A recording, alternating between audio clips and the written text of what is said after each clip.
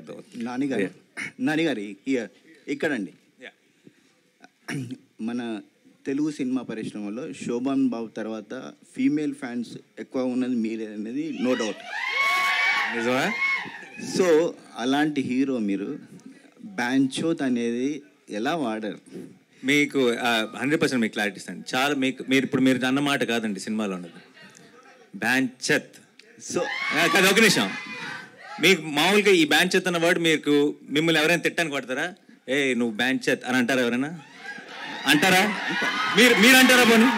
మీరు మీరు ఎవరినైనా కోపం వస్తే రే బ్యాంచెత్ మీరు చూసుకుందాం బ్యాన్ చేత్ అంటే అంటే చూసుకుందాం నువ్వా నేను? అంటే మనం మనకి మనకి తెలంగాణలో ఎలా అయిపోయిందంటే ఆ వర్డ్ని దేనికి వాడతామంటే బెదిరియడానికి కూడా కాదు.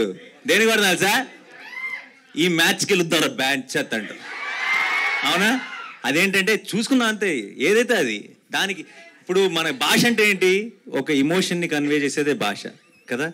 ఆ భాషలో బ్యాంచెత్ అన్నది కొన్ని కొన్ని తరా తరతరాలుగా ఇక్కడ తెలంగాణలో ఏ ఇమోషన్కి వాడుతున్నారు? ఆ ఇమోషనే తీసుకుందాం.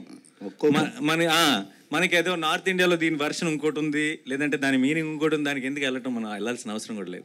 కానీ మన ఇంట్లో పిల్లలు ఉన్నారు కదా పిల్లలు పెరుగుతున్నారు. వాళ్ళు ఆ పదాలు యూజ్ చేసినప్పుడు చాలా ఇబ్బందిగా ఉంటుంది. ఇది ఇది వాడితే ఇది ఇదే వాడితే తప్పు లేదు. ఒకవేళ అది వాడారు అనుకోండి అది వాడకండి ఇది వేరు అని ఇది చెప్పండి మీరు. ఇది చెప్పరా? టీచర్ గనక నిన్న ఎప్పుడైనా ఏంట్రా ఫెయిల్ అవుతున్నావు అంటే బ్యాంచెత్ పాస్ అయ్యి చూపిస్తానని అనమనండి మీరే. నాన్నగారు. నాని. నాన్నగారు ఇక్కడ ఇక్కడ. చెప్పు. నాన్నగారు ముందుగా మీకు కంగ్రాచులేషన్ ఇయర్ పెద్ద బ్లాక్ బస్టర్ కొట్టబోతున్నారు అనేది మీ టీచర్స్ కావచ్చు మీ కాన్ఫిడెన్స్ చూస్తే అర్థమవుతుంది. సో ఈ సినిమా